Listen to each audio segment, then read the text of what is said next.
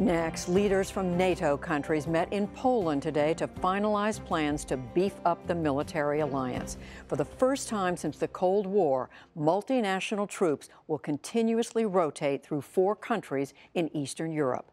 Special correspondent Nick Schifrin, with the help of the Pulitzer Center on Crisis Reporting, concludes our series with a look at America's largest military buildup there in a quarter century and why Russia sees it as a threat.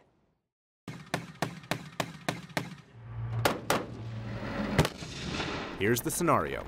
An unnamed enemy has invaded a NATO ally.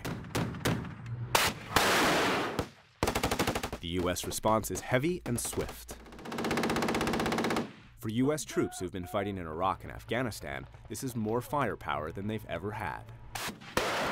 That was wild. We've been fighting an insurgency for the last 14 years. Uh, now we're prepared to fight someone who is closely uh, matched to our combat power. Captain Joel Marbot deployed twice to Afghanistan. This exercise, held last month, was the largest in Eastern Europe since the Cold War. Now they're prepared for any enemy counterattack to come back across the international border. Marbot isn't allowed to name that enemy, but in the command tent, Lieutenant Colonel Johnny Evans pulls fewer punches when discussing his Polish hosts. And they see, you know, examples of Russian aggression us being here, assuring them that the U.S. has not abandoned them, that the U.S. is still a strong supporter of NATO, can do nothing but provide additional assurance. On the training ground, there was even a burned out Soviet style tank for target practice. This isn't only assurance to allies, it's also deterrence and a warning to Russia. After the Cold War, the U.S. military dramatically downsized in Europe from 200,000 to 30,000 troops. Now, the U.S. is beginning to quadruple spending and will rotate 4,200 soldier heavily armored brigades back to back with their own equipment at the highest level of readiness. But that is a powerful capability that will uh, be very effective at help changing the calculus for Russia or any potential adversary in Europe. General Ben Hodges commands all U.S. Army forces in Europe. Those new American troops are in addition to 700 person NATO battalions deploying to the Baltic states and Poland. We spoke to Hodges during the Poland exercise. I think the combination of a NATO uh, battalion plus a U.S. Armored Brigade combat team, that's a powerful deterrent. If deterrence fails, now you're talking about a liberation campaign. For the Poles, that word liberation doesn't feel far fetched.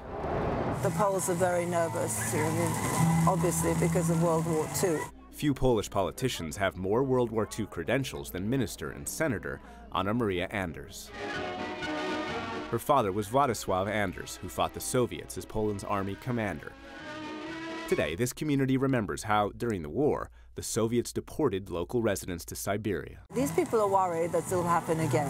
What convinced them that it could happen Crimea, again? Crimea. In 2014, Russian soldiers in Crimea sparked an annexation from Ukraine. It took less than a month. I think that we have all become a little complacent. You know, we haven't had a war in so long. U.S. soldiers are teaching Poles military hardware starting in childhood. Princess. That's where the trust starts. From that youngest generation, building trust, they understand that America is aligned with Poland. There you go. Good job. Lieutenant Colonel Derek Holbrook leads the 2nd Cavalry's Field Artillery Squadron. Part of the Polish exercise is visiting small towns like Suwalki. Soldiers and fathers encourage kids to become comfortable with guns. Nearby, young baton twirlers entertain the crowd. It seemed like this entire town of 60,000 showed up in support. The next morning, Holbrook's men hit the road. They were on a 500 mile drive, the longest military movement in Eastern Europe since World War II. They drove through this 60 mile wide gap between NATO members Poland and Lithuania. This is the Suwalki Gap, where NATO's notion of collective self-defense is perhaps most vulnerable. 30 miles to my west, Kaliningrad, a Russian enclave. 30 miles to my east, Belarus, a Russian ally.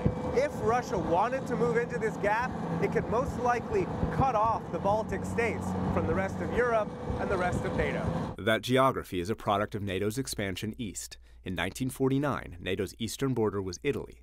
By 1999, it added seven more countries. By 2009, nine more countries, including the Baltics. Suddenly, NATO had beachheads on Russia's border. If we would discover uh, that there would be uh, Russian troops uh, in uh, Mexico, I wonder uh, how many American politicians and indeed American people would think that this is an acceptable situation. Dimitri Simes leads the Washington think tank, the Center for the National Interest. For Russia, NATO isn't defensive. Since 1999, NATO has launched wars in Kosovo, Afghanistan, and Libya.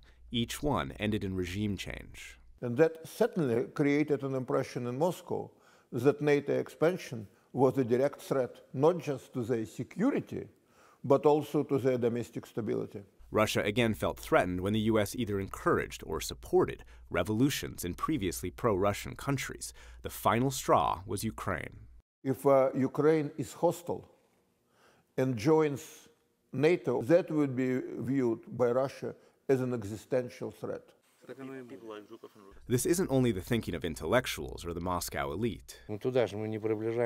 We're not going to Mexico. Imagine if Russia moved its troops there. Vitaly Anatolievich is a Cossack commander in the breakaway Ukrainian region of Donetsk. His forefathers, known as Free Cossacks, were notorious and feared 19th century horsemen. They fought and died for this land they referred to as Greater Russia. Today, they're training their children what Cossacks have stood for for generations love of land and church.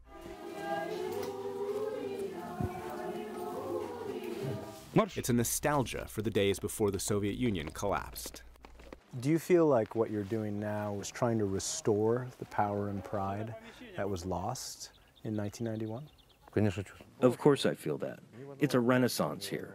This is pure patriotism. That patriotism is a pledge to be an irregular force for Russia in Ukraine and beyond. And they cheer disunity in the European Union because they oppose what they perceive as Western culture. We don't educate them as they do in Europe about gay pride and all that. Is that normal? It's not normal. The cultural and military divides within Europe are widening. Another flashpoint newly built NATO missile defense sites in Romania and Poland Russia labels them threats and vows to retaliate.